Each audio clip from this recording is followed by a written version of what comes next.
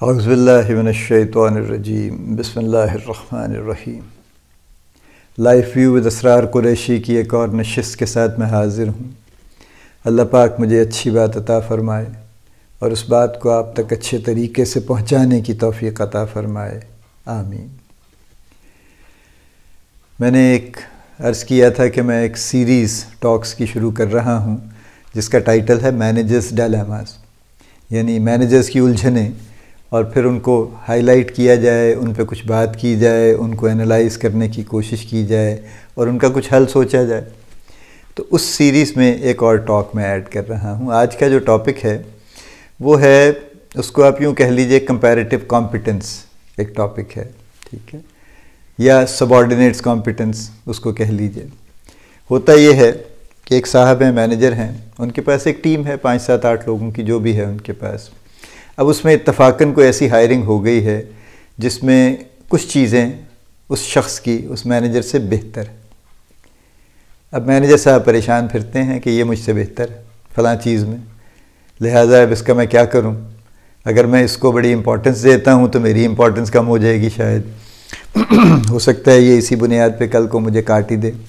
मेरी जगह ही आ जाए शायद और मैं कहीं बाहर ही खड़ा हो जाऊँ फिर उसके बाद। ये एक कॉमन कॉमन डलेमा है, ये अनकॉमन नहीं है बेसिकली हुआ क्या है देखिए। If I go back let's say around जब मैंने शुरू किया था which was a very long time back 45 five years उस वक्त ये मसाइल नहीं थे। क्योंकि उस वक्त तो जो भी शख्स, जैसे जिस ट्रेड में मैंने प्रोफेशन शुरू किया फार्मास्यूटिकल सेल्स में तो सबको पता था कि 20-25 साल तो प्रमोशन की कोई तो नहीं है। और 20-25 साल के बाद आप एक आध ग्रेड ऊपर चले जाएँगे। अगर कोई जगह होगी तो नहीं होगी तो नहीं होगी। यानी ये तो सोच थी ही नहीं और ये मुमकिन नहीं था कि कोई दो चार साल में किसी अपने सीनियर्स को आगे पीछे करके तो आगे चला जाए। इम्पॉसिबल लिहाजा सब लोग बैठते थे आराम से और काम करते थे चुप करके और अभी भी करते हैं मल्टीनेशनल में अभी भी करते हैं। पहले मल्टीनेशनल में भी करते थे और नेशनल कंपनीज़ में भी यही करते थे। बाद में फिर हालात बदलने लग गए। एक अद कंपनी ने अपना स्टाइल चेंज कर लिया। उन्होंने कहा जी कोई सीनियोरिटी नहीं है। परफॉर्मेंस बेस्ड है सारा कुछ। लिहाजा अगर किसी शख्स की परफॉर्मेंस अच्छी है तो वो तीन चार साल में भी प्रमोट हो जाएगा। और नहीं है तो वो दस साल भी नहीं होगा पंद्रह साल भी नहीं होगा।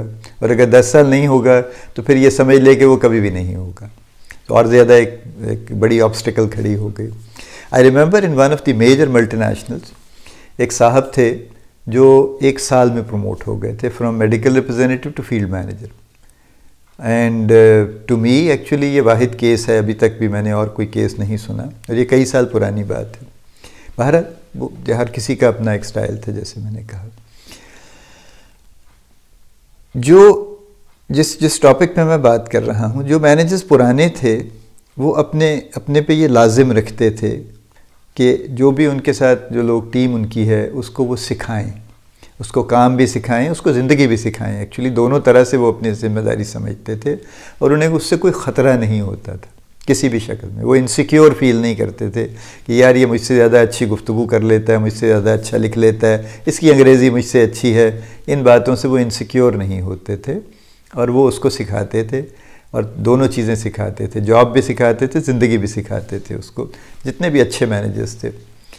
ज़ाहिर है हर तरह के लोग आप जानते हैं, होते हैं, कुछ ज़्यादा अच्छा करते हैं, कुछ नहीं करते भारत।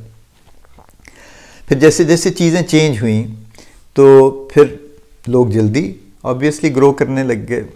अच्छा कुछ लोग थे जो ज़रा इतनी जल्दी ग्रो जिन्होंने कर लिया। देखिए देर से मैं बिल्कुल परफॉर्मेंस बेस्ड ग्रोथ के बिल्कुल मैं हक में हूँ, सौ फ़ीसद बिल्कुल। लेकिन परफॉर्मेंस के साथ साथ एक एक फैक्टर सीजनिंग का भी होता है।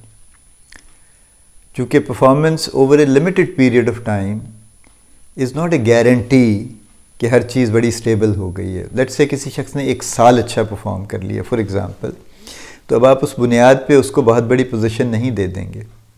अगर देंगे तो चांसेस उसमें ज़्यादातर यही हैं कि वो उसको हैंडल नहीं कर पाएँगे। क्योंकि उनकी परफॉर्मेंस एक पीरियड में अच्छी है लेकिन उनकी ओवरऑल जो जो डेवलपमेंट है पर्सनैलिटी की और स्किल्स की, वो अभी नहीं हुई। उसके लिए एक मिनिमम पीरियड है जो देना चाहिए, जिसको आप, जिसको मैं सीजनिंग कह रहा हूँ। आप उसको स्किल डेवलपमेंट कह लीजिए। तो स्किल डेवलपमेंट के लिए एक सर्टन टाइम देना चाहिए।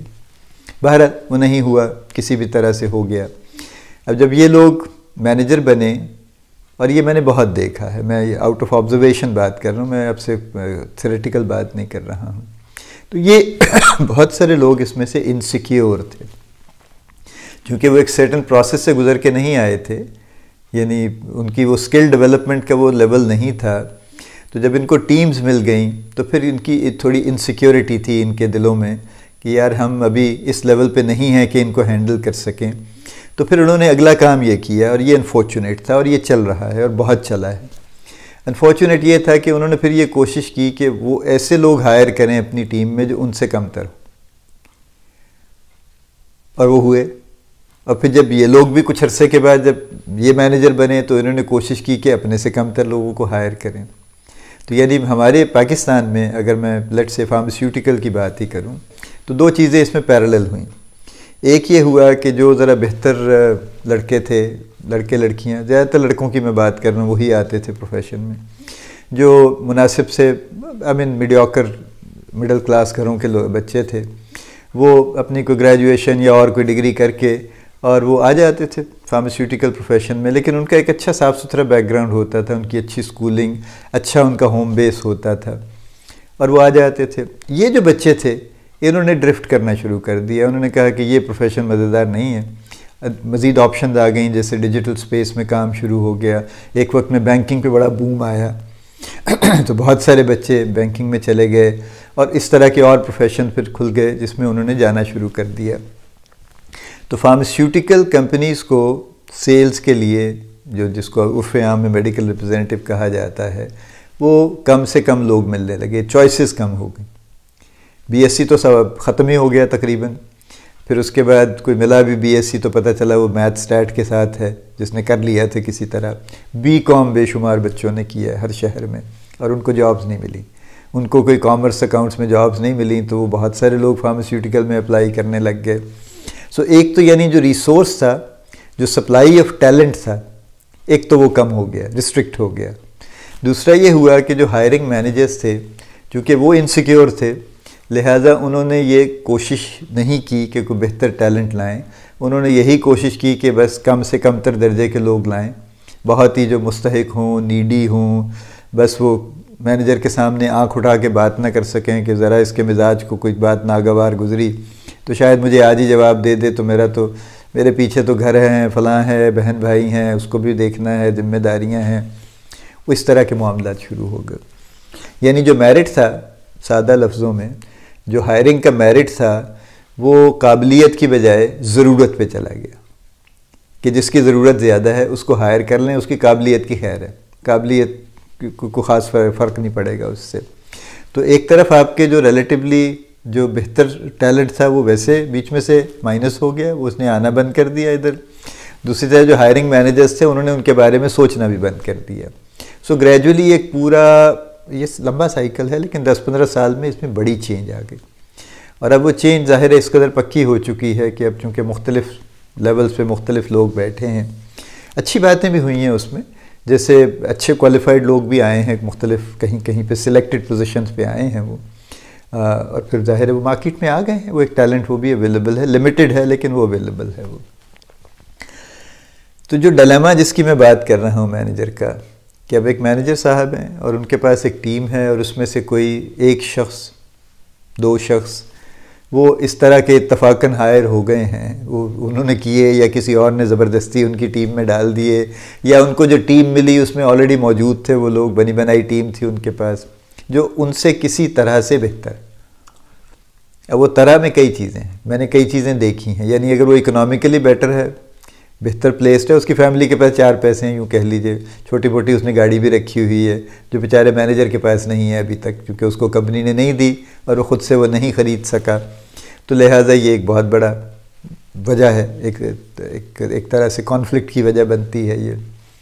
या वो उनसे किसी बेहतर स्कूलिंग से हुआ है, उसका अंग्रेज़ी बेहतर है, उसकी, उसका उठना बैठना उसका खाना पीना उसका ड्रेसिंग उसका जो हमें वज़ाक़ता है, वो उसने बेहतर रखी हुई है।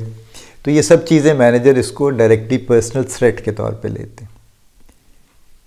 ये आई मीन जो जो समरी है वो ये है कि जब भी किसी मैनेजर की टीम में कोई शख्स उससे किसी भी वजह से उसको बेहतर लगता है कि ये मुझसे बेहतर है, फलां चीज़ में बेहतर है तो वो उसको एज ए थ्रेट लेता है और वो थ्रेटन फील करता है कि कल को शायद मेरी जॉब इसकी वजह से रिस्क पे आ जाएगी। शायद मेरे लिए बड़े मसाइल हो जाएँगे। लिहाजा मुझे इसका कुछ ना कुछ तो बंदोबस्त करना चाहिए। और वो बंदोबस्त अनफॉर्चुनेटली एक ही होता है कि उसको किसी न किसी तरह से उसको इस तरह से ट्रीट किया जाए मिस ट्रीट किया जाए बुनियादी तौर पे। बुरा सलूक किया जाए उसके साथ, ताकि वो किसी न किसी स्टेज पे छोड़ जाए। या उसको इस तरह प्रोजेक्ट प्रोजेक्ट किया जाए कि नहीं नहीं, ये बस देखने में ही लगता है, बाकी इसको आता आता कुछ नहीं है। बेकार है फलां है, यूँ है। और ये हो रहा है। आप जो जो जो जो भी मैनेजर्स हैं, वो अपने आसपास भी देख लीजिए तो आपको ये बहुत कॉमन प्रैक्टिस नज़र आएगी। देखिए, इस पे इस पे दो तीन बातें हैं जो मेरे ख्याल में मैं आपके आपके सामने रखना चाहूँगा, आपके सोचने के लिए। देखिए, पहली बात तो ये है कि कोई भी टीम मेंबर कितना भी ब्रिलियंट हो, कितना भी सुपीरियर हो, वो मैनेजर से सुपीरियर नहीं हो सकता, क्योंकि उसकी जॉब की नेचर डिफरेंट है। मैनेजर के पास एक मैनेजमेंट का पोर्टफोलियो है, जिसमें उसने बिज़नेस मैनेज करना है, जिसमें उसने पीपल मैनेजमेंट करनी है। उस शख्स के पास जो बज़ाहिर, जिसकी अंग्रेज़ी बड़ी अच्छी है या बज़ाहिर आपको और कोई चीज़ अच्छी नज़र आती है उसके पास मैनेजमेंट का पोर्टफोलियो नहीं है। वो ये साबित नहीं कर सकता कि वो मैनेजर से सुपीरियर है। वो अपने एक एक डोमेन में, एक लिमिटेड डोमेन में अच्छा काम करके दिखा सकता है। So he is at par with the rest of the team यानी अगर आप फार्मास्यूटिकल के सेंस में बात कर रहे हैं और उसमें एक मैनेजर के पास अगर लेट से छः मेडिकल रिप्रेजेंटेटिव हैं तो वो कंपेयर मेडिकल रैप से करेगा ना। उनमें से वो शायद बहुत अच्छा हो जाए नंबर वन हो जाए, कमाल कर दे। मैनेजर से तो कंपेयर नहीं करेगा, क्योंकि वो मैनेजर का डोमेन अलग है, उसका डोमेन अलग है। तो ये बात तो अपने जहन में क्लियर कर लीजिए पहले कि ये आपस में ये कोई compete नहीं कर रही पोजिशन लिहाजा वो थ्रेट जो है इनसिक्योरिटी जो है अपने दिल से, उसको ज़रा ठीक कर लीजिए, उसको निकाल दीजिए। आपका डोमेन अलग है, आपके, आपका प्लेटफॉर्म अलग है, आपके पैरामीटर्स अलग हैं, आपकी परफॉर्मेंस अलग बुनियादों पे मॉनिटर की जाएगी और अप्रेज की जाएगी, उसकी अलग पैरामीटर्स पे की जाएगी। ये आपस में इनका कोई कोई रिलेशनशिप नहीं है। He is a non manager you are a manager लिहाजा आपका उसका इस सेंस में कोई कंपटीशन नहीं है तो उसको पहले तो अपनी इनसिक्योरिटी ठीक कर लीजिए आप। दूसरी बात यह है कि अगर आपके पास एक अच्छा रिसोर्स है तो फिर उसको, उससे बेनिफिट उसका एडवांटेज लेने की कोशिश कीजिए। यानी if you have somebody in the team जो ज़रा गो गेटर है आउट गोइंग है, जो चैलेंजेस ले सकता है, जो नए काम कर सकता है तो नए प्रोजेक्ट उससे करवाइए अल्टीमेटली देखिए परफॉर्मेंस का क्रेडिट दोनों को जाता है। जिसने किया उसको भी जाता है, जिसने करवाया उसको भी जाता है, और इक्वली जाता है। ऐसा कभी नहीं मैंने होते देखा कि वो कहें कि यार ये मैनेजर तो निकम्मा था, उस लड़के ने कर लिया, जो कुछ करना था। शायद कहीं होता होगा और होता है तो बहुत ही अगर बदकस्मती की बात है, अगर ऐसा कोई सोचता है। वरना बुनियादी तौर पे दोनों को क्रेडिट जाता है। सो अगर आपकी टीम अच्छी है, जितनी अच्छी आपकी टीम है, उतने अच्छे आप हैं एक्चुअली और अगर कोई खुदा न खास्ता कोई टूटी फूटी लूली लंगड़ी टीम है तो उतने बुरे मैनेजर फिर आप हैं एक्चुअली सो जो अगर आपकी टीम में अच्छा मैनेजर है अच्छा कोई कोई आपका टीम मेंबर है तो उसका एडवांटेज लीजिए। उसको मज़ीद पॉलिश कीजिए, उसको इस तरह की ज़िम्मेदारी दीजिए जिसमें वो जो उसका टैलेंट है, वो ज़्यादा से ज़्यादा इस्तेमाल हो सके। अल्टीमेटली आपकी टीम परफॉर्मेंस अच्छी होगी। सो नंबर वन उसका एडवांटेज लीजिए। नंबर टू उसको रोल मॉडल बनाइए। दूसरे लोगों के लिए। रोल मॉडल लेकिन बनाना ज़रा थोड़ा सा ट्रिकी है। क्योंकि अगर आप रोल मॉडल इस तरह बनाएँगे कि सारा वक्त उसकी तारीफ़ करते रहेंगे और दूसरों को सुनाते रहेंगे कि यार वो देखो ना कितना अच्छा काम करता है, वो देखो कितनी अच्छी तैयारी उसने की, तुम बड़े निकम्मे हो तो ये गलत है। ये नेगेटिव इमोशंस को क्रिएट करता है। इससे सबको नुकसान होगा, आपको भी होगा टीम को भी नुकसान होगा। रोल मॉडल इस तरह से बनाइए कि उसको यकीनन एग्ज़ाम्पल बनाइए और लोगों को मोटिवेट कीजिए कि यार ये भी आप भी कर सकते हैं। करें, कोशिश कर लें, आप भी कर लें। कोई मिला जुला के कोई ऐसी ग्रुप एक्टिविटी साथ में कर लीजिए, जिसमें ज़्यादा शेयरिंग हो तो वो भी बजाय इसके कि वो ये सोचते रहें कि ये पता नहीं क्या करता है, वो शेयर कर लें कि ये क्या करता है, कैसे करता है, ताकि दूसरे लोग भी उससे कुछ सीख सकें। So to to sum it up actually मैंने जो आई डलेमा जिसकी मैं बात कर रहा हूँ, वो ये है कि जिस मैनेजर्स की टीम में बाज़ात उनसे बेहतर कोई ना कोई टीम मेंबर होता है, जो बज़ाहिर उनको अपने से बेहतर लगता है। किसी भी एक रिस्पेक्ट में या दो में या तीन में, जैसे कॉमन है ना कम्युनिकेशन अच्छी हो सकती है स्टाइल अच्छा हो सकता है उसकी अंग्रेज़ी अच्छी हो सकती है। अंग्रेज़ी का मैं बार बार इसलिए तस्करा करता हूँ कि हम, अंग्रेज़ी हमारी बड़ी सख्त कमज़ोरी है बेचारी। हम बेचारे हैं, वो तो नहीं है। और, या उसका कोई सोशल स्टेटस बेहतर हो सकता है इकोनॉमिक स्टेटस बेहतर हो सकता है। तो इस बात पे सबसे पहली चीज़ जो मैंने इसके लिए आपसे अर्ज़ की है कि पहले तो अपने दिल से इनसिक्योरिटी निकाल दीजिए। आप और वो एक प्लेटफॉर्म पे नहीं है डिफरेंट है। आप मैनेजर हैं, वो आपका टीम का मेंबर है। लिहाजा आपकी परफॉर्मेंस के पैरामीटर्स अलग हैं, उसके अलग हैं, आपका डोमेन अलग है, उसका अलग है। और किसी भी तरह से वो इमीडिएटली आपके लिए थ्रेट नहीं बन सकता। हाँ इस बात पे थ्रेट बन सकता है आगे चल के। अगर आपकी परफॉर्मेंस मुस्तकिल ख़राब है मैनेजर की तो फिर कंपनी सोच सकती है कि इसको रिप्लेस करना है?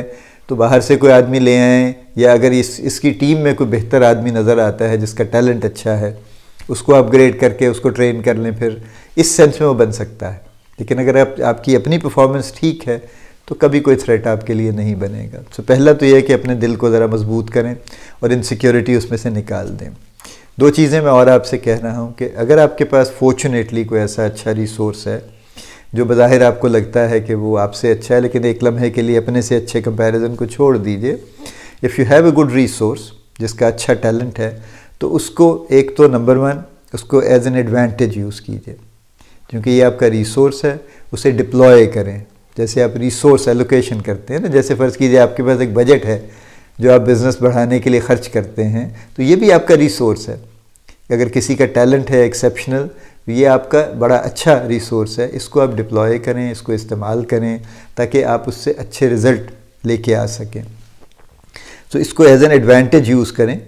एज ए थ्रेट यूज़ ना करें इसको। थ्रेट तो मैंने पहले कह दिया, दिल से निकाल दीजिए। अब मैं उसके बाद दो काम कह रहा हूँ कि एक इसको एज एन एडवांटेज यूज़ करें, यानी उससे वो काम करवाएँ जो उससे कम टैलेंट वाले लोग नहीं कर पाते। उसको उसको हरावल दस्ते के तौर पे इस्तेमाल करें उससे नए काम करवाएँ उसको नए चैलेंजेस दें उससे इनोवेटिव आइडियाज़ जो हैं उन पे लेके चलें उनको ताकि वो फिर एक तरह से यूँ कह लीजिए कि नई ग्राउंड ब्रेक करेगा तो दूसरों के लिए आसानी हो जाएगी उनके लिए दरवाजे खुल जाएँगे फिर। सो so, इसको एज एन एडवांटेज यूज़ कीजिए और नंबर टू मैं ये कह रहा हूँ कि उसको रोल मॉडल बनाइए ताकि उससे उससे शेयर करके उसको देख के दूसरे लोग भी अपने आप को बेहतर कर सकें। क्योंकि जो सामने एग्ज़ाम्पल हर रोज़ नज़र आती है, उस पर हमारे दो ही रिएक्शन होते हैं, या हम उससे डिप्रेस हो जाते हैं या इंस्पायर हो जाते हैं। तो डिप्रेस ना होने दीजिए, ना आप कीजिए उनको डिलिब्रेटली बल्कि उनको इंस्पायर करवाइए, ताकि वो उससे अच्छी बात सीखें और उसको अच्छे तरीके से देखें और ये कोशिश करें सब मिलजुल के कि सब बेहतर हो जाए। सो इन अगर आप ये तीन चीज़ें कर लें अपने दिल से इनसिक्योरिटी निकाल दें, अपने अच्छे रिसोर्स को एज एन एडवांटेज यूज़ करें और उस अच्छे रिसोर्स को as an example as a role model team के लिए बना के चलें। तो यही जो आपका जो रिसोर्स है, ये डलेमा जो है आपका, ये आपके बहुत बड़े बेनिफिट में आ जाएगा। ये आपका बहुत बड़ा एडवांटेज बन जाएगा कंपेटिटिव एडवांटेज भी बन जाएगा within the organisation when you are competing with other managers आपने तो मैनेजर से ही कम्पीट करना है ना। सो so ये इस तरह से इसको हल कर लीजिए इस डलेमा को। अल्लाह पाक आपको बड़ी कामयाबियाँ अता फ़रमाए। अल्लाह पाक आपका हामी नासिर हो। हम सब का हामी नासिर हो। आमीन।